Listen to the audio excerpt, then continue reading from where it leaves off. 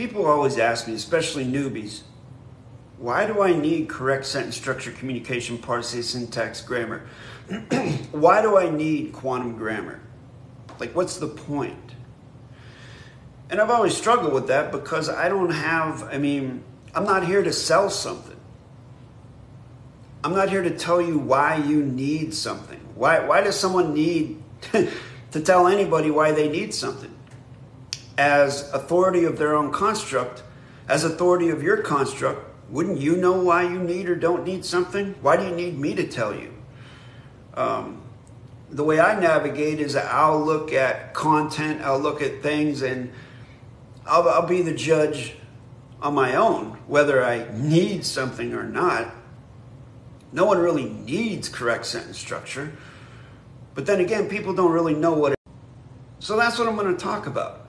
Like what correct sentence structure has done for me in my life over the last six plus years. Imagine going into, uh, okay, I don't know how many of you out there have been through the quote unquote court system. Walked into a court and had a situation, a case, whether you were defendant or whether you were plaintiff or whatever it was, a witness, jury duty. Have you seen the process? How it works? Do you understand how it works? Do you know what's going on in there when you look around? And you look at, like, I'll just say this right off the bat. If you look at a courtroom, keep in your mind what it looks like.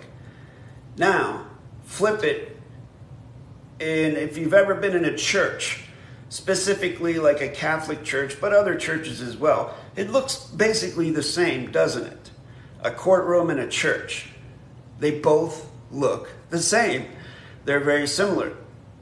You have pews, right? You have the center of the floor, which would be the well of the court in the courtroom. And then you have an altar. You have different levels on the altar, just like in a courtroom. You have the, the stenographer, the clerk, and then on the third plane is the judge. Just like in a church, you have a priest. The priest wears a robe, the judge wears a robe. It's basically the same setup. And you go into a courtroom, somewhere in that courtroom, you will see like a podium or something with a King James Bible on it. Nowadays, they may be taking them out, but back in the day, they would mostly have a King James Bible in there, and the discerning individual would walk up and see what page it's open to. Because a lot of these foreign vessels in dry dock navigate on via ecclesiastical law. Now, whether you believe or don't believe in a higher power, I guess you would call it, whether you do or you don't, doesn't really matter. The fact of the matter is, these foreign vessels in dry dock navigate according to these things. Um, myself personally, I don't. I navigate with regards to the facts. I think that religion is the single greatest psyop that's ever been successful and perpetrated upon humankind. Get people to believe in something they can't certify, and you can get them to believe anything, and you can control them. It says swipe right to see comments. Oh my goodness still getting the hang of this TikTok thing. So people ask, why do I need correct sentence structure? I don't know. Why do you? Uh, the, what galvanized me to learn it back in 2017 was that it it resonated with me. I had been through the fiction system. I'd seen all the conspiracy theories.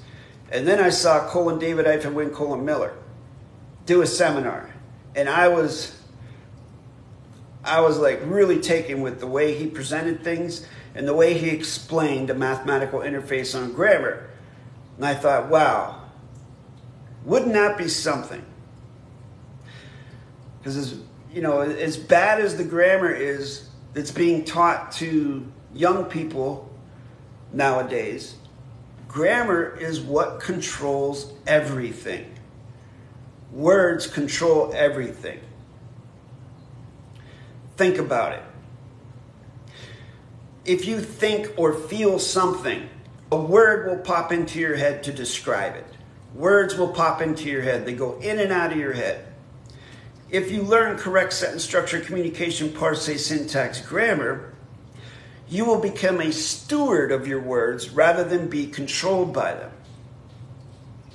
Why do you think attorneys have to go to school for so many years? And even after they graduate, they still don't know all the language of legalese. They still don't. Why do you think the court system wants you to hire one of their representatives to represent you in their court? Because you don't speak the language. They have their own language that they send people that people go to school to learn. whether you are defendant, whether you are plaintiff, it doesn't matter. They want you to be represented by someone in their club, the Bar Association. You're not a member. You don't know the language. So you have to hire someone who speaks the language. It'd be like you walking into a foreign vessel in dry dock in, um, let's say, I don't know, I'll just use this as an example. You walk into a foreign vessel in dry dock in Russia, and they all speak Russian. You don't speak Russian. You have to hire someone who speaks Russian so that you can get a fair shake in their system. It's the same thing with, you know, with legalese. If you don't speak legalese, you have to hire someone who does because it's all about money. With correct sentence structure, if you learn it and get closure on it, that whole system that they use, you can create your own system. But unlike their system, which is not fair, there's nothing fair about it. If anything, it's arbitrary. Your system, if you learn correct sentence structure, communication, parsing, syntax, grammar, is a geometric level plane field. Plane as in P L A N E, not P L A Y I N G. You create that and you invite people to step up onto the geometric level playing field with you. You have to know the grammar so well that you can actually teach it to someone else on the spot at the drop of a hat. Because just like you walking into a court, they want you to have a lawyer, an attorney that speaks the language, that interprets it. If you don't speak English, in addition to that attorney, they're going to get you an interpreter to interpret the legalese into whatever language you speak if you don't speak English. It works the same way with correct sentence structure, only you are your own representative. You're your own authority. Therefore, you have to translate it for them. You have jurisdiction over your document contract, postal vessel court venue. That's how it's used. And because no one in the fiction would ever dream of stepping up onto a fair, level playing field, they vacate. They leave you alone. They want you out of their world. They want you out of their biosphere. They don't want nothing to do with you. And that's how it becomes, that's how one is successful with this grammar. I've done it multiple times. Amazingly, I think one of the first cases I started with in 2017 or beginning of 2018 was a state tax entity who they said that I owed taxes. All right. And just to throw out an arbitrary number, because I don't remember the exact number, say I owed like $30 in taxes. In addition to the $30 in taxes, they wanted me to pay $80 in penalties, interest, late fees, so on and so forth. So $30 taxes, $80 penalties and fees. At the time, I did not have closure on quantum grammar, but I tried to use it anyways. So I syntaxed their document, meaning I pointed out the modification in their grammar using the number values of 1, 2, 3, 4, 8, 9, and 0, meaning adverb, verb, adjective, pronoun, past tense, future tense, conjunction. And then I wrote a correct sentence structure, communication, parsing, syntax, grammar, document, contract, postal vessel, court, venue with a syntax key. And I sent it back to him with a check for $30. And I said, basically, to translate into plain simple English, I said, yes, I want to help out the state. I want them to be able to pay the employees for working on the roads, you know, doing maintenance and things like that. I know people need to feed their families. However, I don't have a contract for paying $80 in penalties and fees. Show me the correct contract with correct grammar where I agreed to that. Number one. Number two, in lieu of that, if you can't show me that, then show me your own quo warranto that you have the authority to tell me to pay anything. Show me that. Or number three, go on vacation. Within a week, they sent me back a letter saying, Everything's done. Thank you very much. And they never contacted me again. That tax entity never contacted me again. So I was like, wow, wow. I don't even have closure on correct sentence structure. And I was able to get a state tax entity off of my back that easily. That was crazy. It blew my mind. So then I started using it for other things. I started helping other people out with like collection agencies and things like that. And again, it comes down to knowledge is the first thing you have to establish. If you agree to a contract, you have to honor that. Like a lot of people come at it with the uh, attitude that they want to get out of something. Like I've had people send me emails, Jason, I got a DUI. Can you help me get out of it? And my first question is, were you drinking and driving?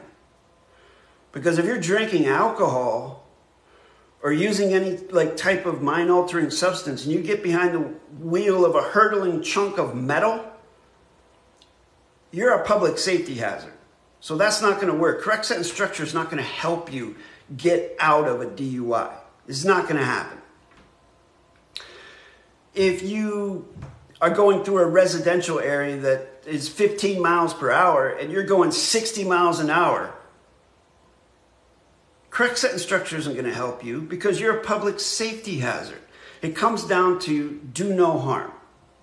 Now, if you're going 16 miles an hour down a 15 mile an hour road and a policeman pulls you over and gives you a ticket for going sick, going one mile over the speed limit, and they say, You know how fast you were going? You say, No.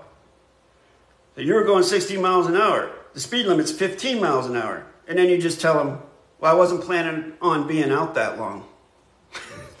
no, I'm joking.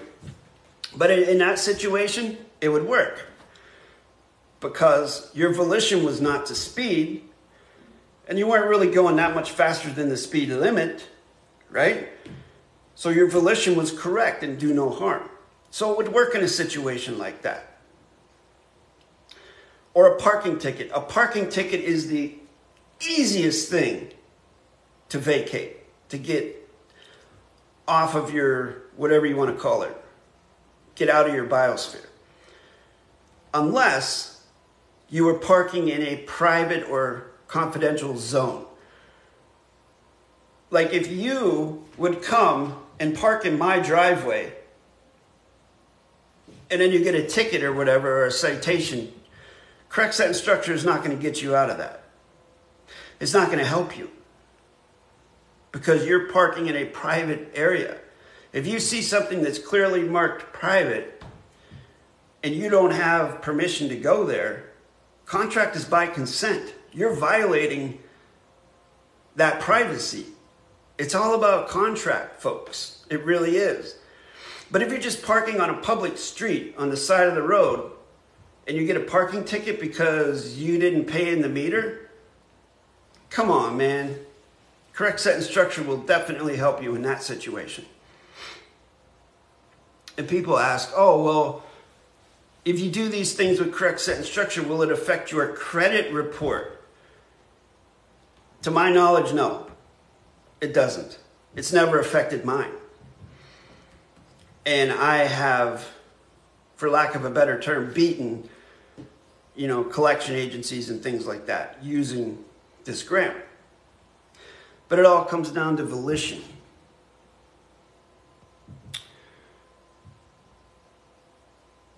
You uh, viewers out there, if you have any questions, feel free to pop them in the chat. I mean, this chat is uh, is there for a reason. This filter, you see this right here? The scar goes down here. Uh, when I was in like, uh, I don't know, third grade or fourth grade, I was riding a motorcycle and um, I lived on a farm. And during the summer, we would have cows on that farm with electric barbed wire fence. And in the wintertime, you know, after the, the cows weren't there anymore, my grandfather and father would take down the barbed wire fence in certain places so that you could freely go in and out of the pasture with your vehicle or whatever, and you didn't have to unhook the fence. But then when we got the cows, they would put the barbed wire back on the entrance, and then you would have to open it up if you wanted to go in with a, with a motor vehicle. Well, unbeknownst to me, my grandfather had put the wires back up. I didn't know. And I was just flying. And I hit that barbed wire fence right here. And I flew off the motorcycle. And uh, you know, as you can imagine, this big flap of skin, blood was pouring down my face. Um, my, my father looked at, takes one look at me and he says, you better go see your mother. Okay. I wasn't crying or anything. I walked up to the house. My mother opened the door. She took one look at me and she started screaming. And as soon as she started screaming, I started screaming. And then she grabbed me by the shoulders put me in front of a mirror and showed me myself, and there was this blood everywhere. She's like, Look at you! I was like, Ah! Why would a mother do that? That moment is etched in my mind, and as a parent, you know, my children have gone through some things. Actually, my son has a scar here uh, that he got. He tripped over someone's leg and bounced his head off a brick wall, and blood was everywhere, and the adults were screaming. And I was just told everybody to shut the F up. I grabbed him and took him to the hospital. You know, I mean, it doesn't help anyone in a situation like that to start screaming and acting crazy. But you know, that's another thing about correct sentence structure. You have to maintain your calm and your cool. You have to uh, be a steward of your breathing. You have to be a steward of the cadence of the way you speak. Someone says, You should cash app me two bucks. Well, TikTok's helpful in that manner that uh, it enabled me to mute that fellow that told me I should cash app them $2 and then also block the word cash app. So I guess that's cool that you can do that. I started a Rumble channel as well. started uploading some videos over there. My main platform is YouTube with over 600 correct sentence structure videos over there, which my entire TikTok channel is just little snippets of longer form videos from YouTube, and I just upload them here on, on TikTok. That's pretty funny. I see these people on here that basically begging for money. They're like, please cash app me one dollar. And geez, they get 500 people that cash app them a dollar, then they get 500 bucks. That's crazy, right? But hey, whatever, whatever.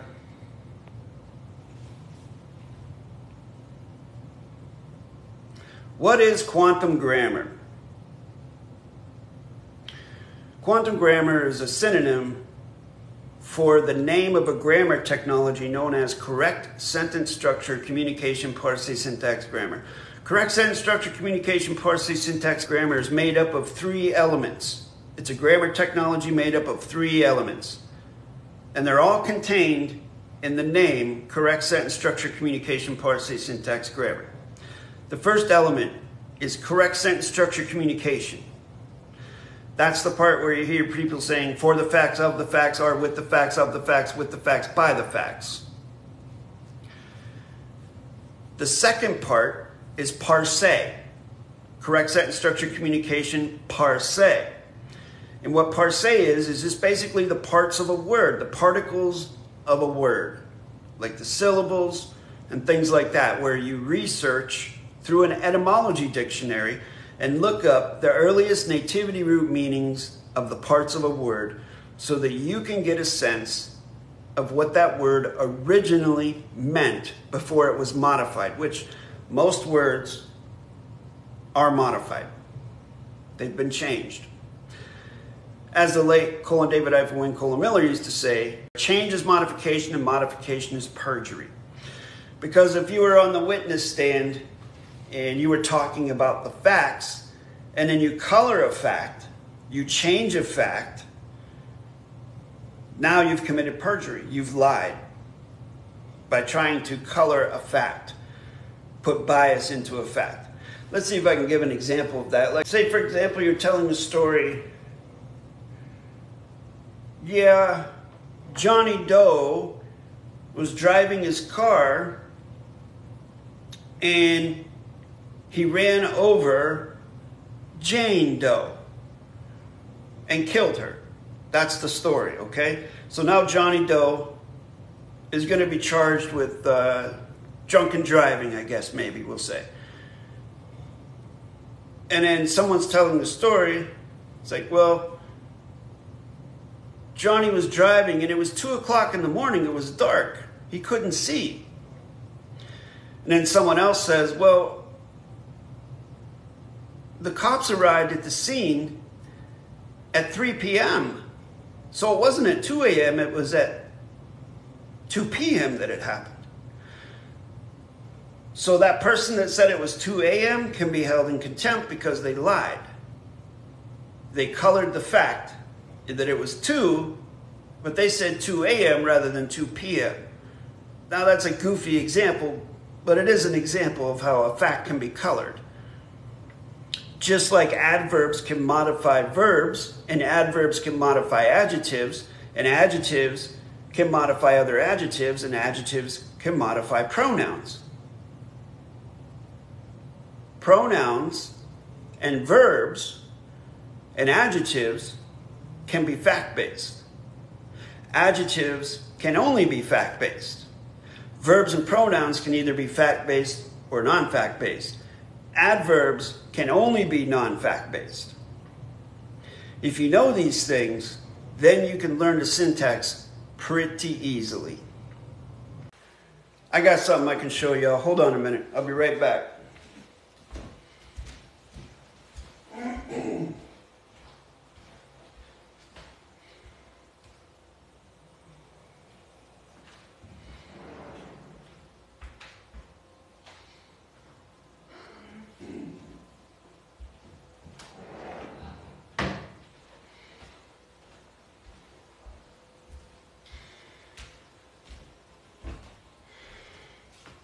I'm to travel, like travel, travel, I always bring my briefcase. I have to. The briefcase has my ship's papers in it. This is my claim of the live life. Okay? I created this. I didn't buy it from anyone. I'm the authority of my own vessel. As you can see down here,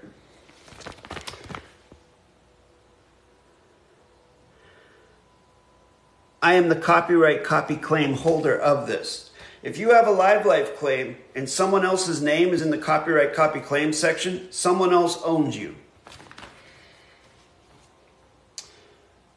But as you can see here, I have the. All of this is certification of who I am. It's got a little mini dictionary. And this is what the back of it looks like.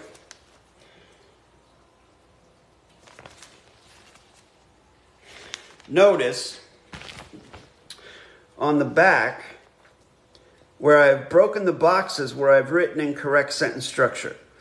And I've also autographed over that bullet stamp and thumbprinted it as postmaster. And if you want to say it, you know, postmaster, judge, bank banker, letter carrier, all that stuff.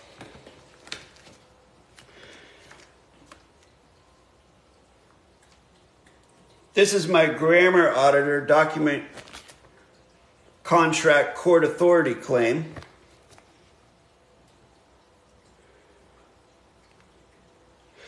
This, in the fiction, this would be equivalent to a judge's oath. Okay? But I choose not to word, use the word judge because judge is a fiction term and I don't want to use anything like that that has to do with the fiction. Authority is fine. And that's what this is. What else we got here? We got uh, my fate writ volition claim. Where, you know, you, you'll hear me say that volition is the most important thing. And then someone says, Well, what is your volition? Here you go. It's in correct sentence structure. All written out. My volition. This is my port authority claim. I am the port authority of this port. This port is a live life claim. I'm sorry. This port is a live life claim the port of sensation, and I am the authority of that. This is my language tutor claim.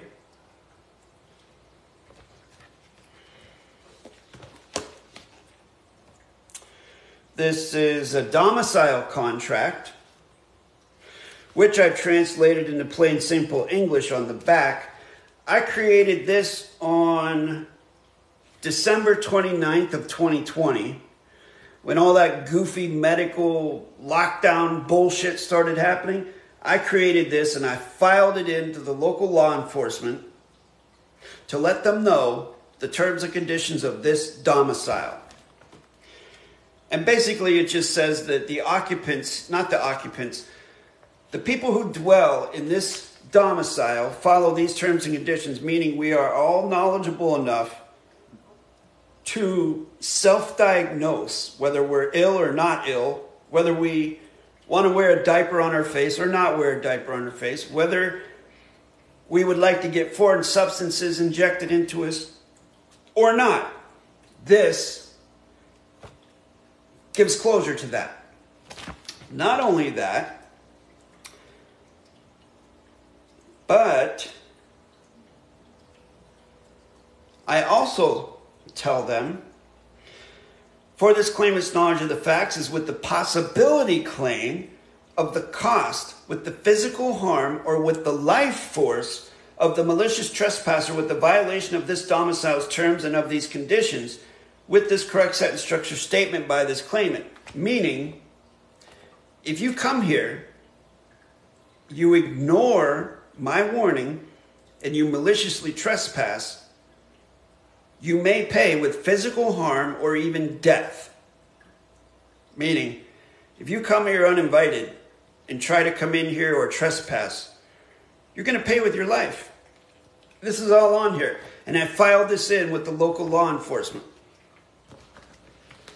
Suffice to say, never had any problems with them and uh, have a very good relationship with them, as a matter of fact. No problem, no problem.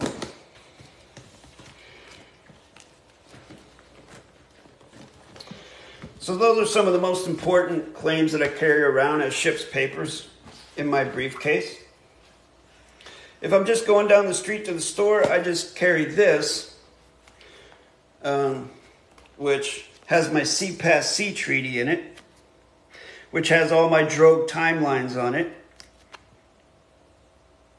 CPAS C treaty.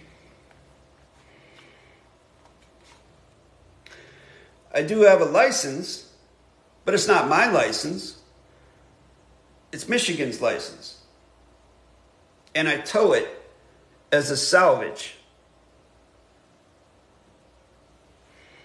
And I've paid the fee for freight in gold.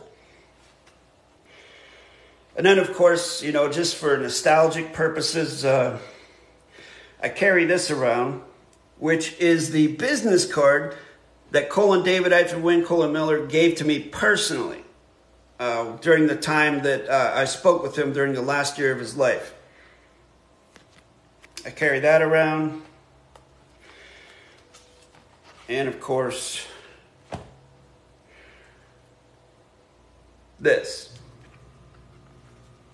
which is not mine as you can plainly see, the name is all capped. But I have claimed it as a salvage and paid the fee for free on that as well.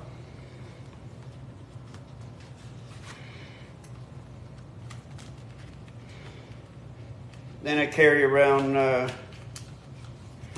my little business cards. And of course, gotta have some stamps.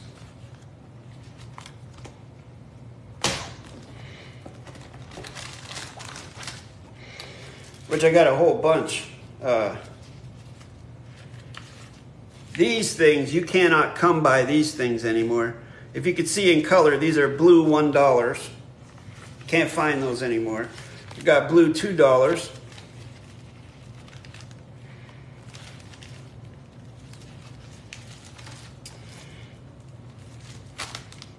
Got some registered mail. Got some uh, green cards for certified mail. Also got international return receipt. These are pink for international.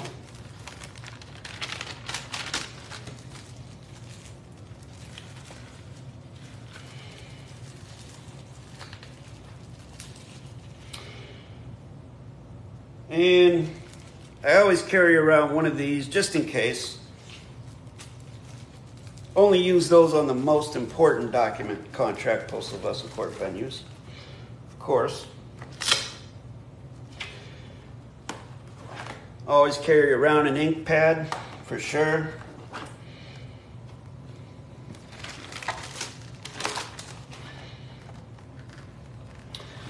Some spare envelopes in case I need them.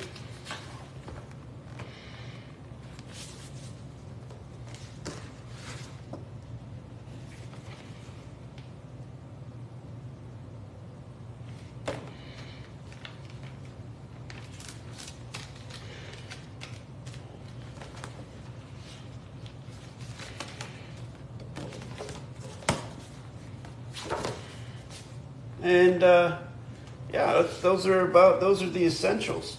Of course, I carry a, a lanyard so that uh, if I need to put my CPAS on here, I just put the CPAS on here and carry it like that. But I very rarely do that anymore.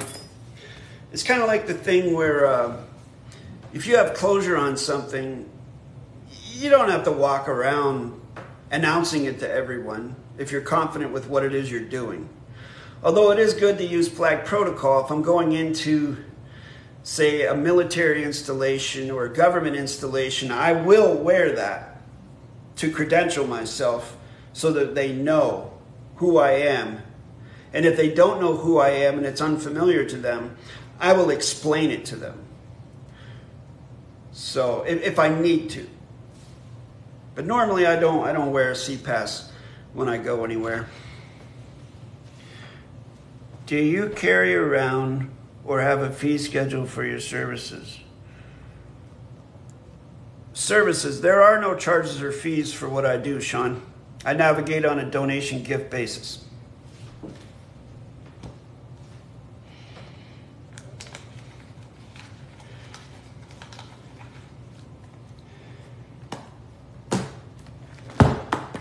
And that's what keeps third party interlopers out of my business.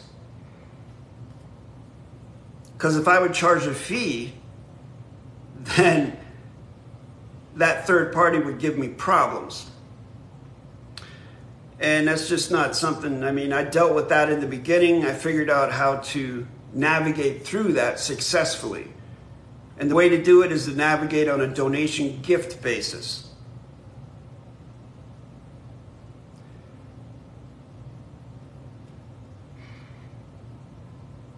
That's also the reason why everything I teach in my YouTube, I mean, everything I teach in my grammar workshops is available on YouTube for free.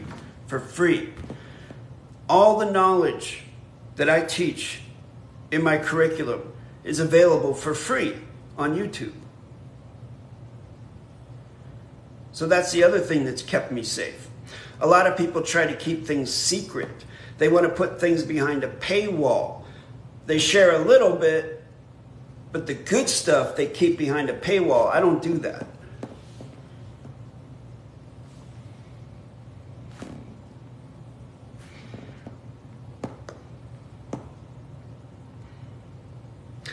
But I can tell you, it's not the easiest thing in the world to navigate on a donation give basis because most people, like it or not, most people just want free stuff. They think everything should be free. They don't think they should have to pay anything for for anything really. I had one guy say that education should be free. That all this knowledge should be free. And I reminded him it is free on my YouTube channel, over 600 videos that I invested thousands of hours in creating. If you think it's worth something, feel free to donate. If it's not worth anything to you, then you won't donate. Do you keep your receipts for gifts and donations? I keep a log of everything that comes in and out of my port, for sure.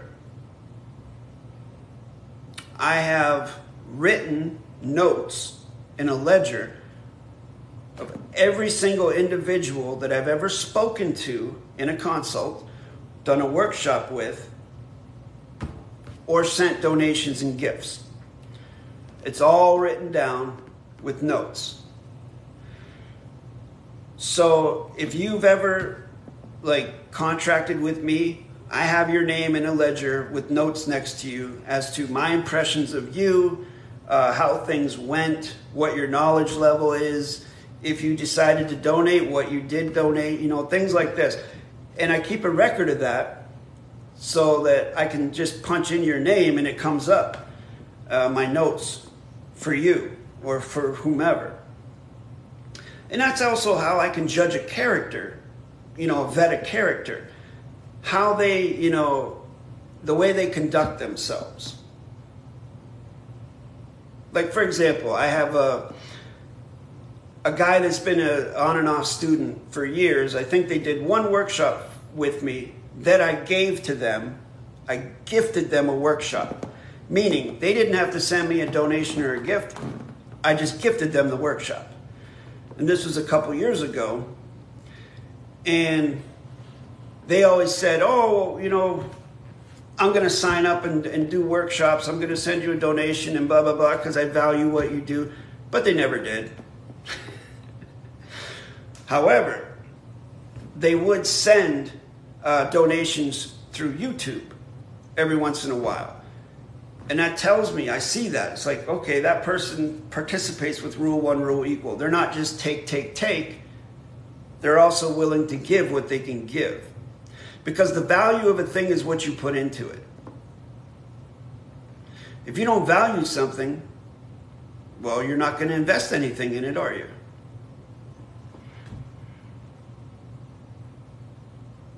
Oh no, Sean, actually I was not referring to you as far as that example goes. That wasn't you. I was not referring to you.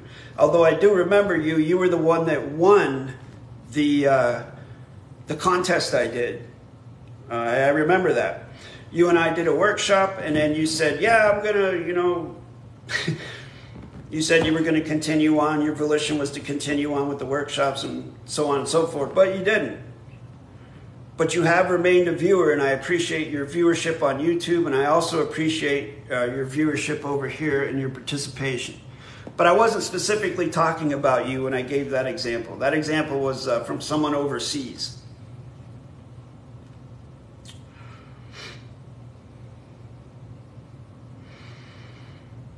I'll tell you where I get a lot of students from is from uh, New Zealand and Australia.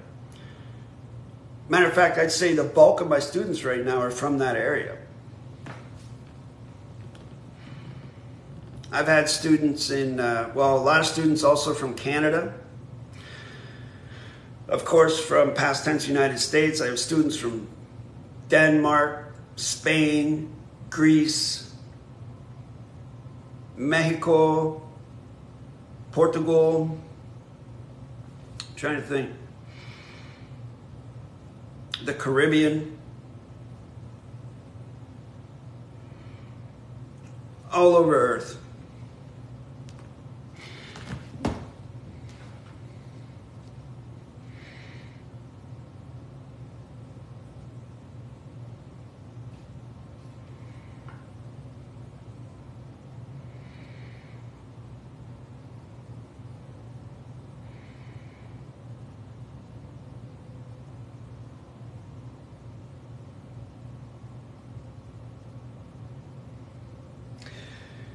Interestingly enough, as we're doing uh, this live stream, I just got an email from someone, another disgruntled colon Russell hyphen J colon Gould former cult follower. They emailed me and said that they started learning uh, grammar from colon Muriel hyphen Meta colon Biggs but that they weren't getting the closure that they desired and they weren't getting treated very well and it's just very fishy and chaotic and shady over there in Russell J. Gould land.